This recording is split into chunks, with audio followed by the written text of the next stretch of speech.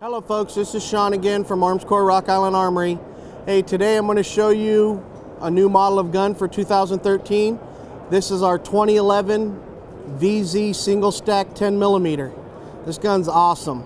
All right, the uh, it's got the full length dust cover with the Picatinny rail for you can attach a light, laser, whatever you like.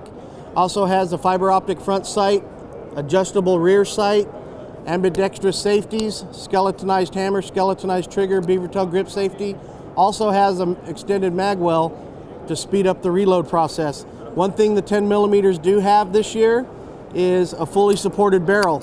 So anybody that's shooting any of the hotter 10 millimeter ammo, you don't have to worry about having any issues. The gun runs great. Uh, this gun is great gun for the money. You couldn't ask for anything better from Rock Island Armory. Thank you.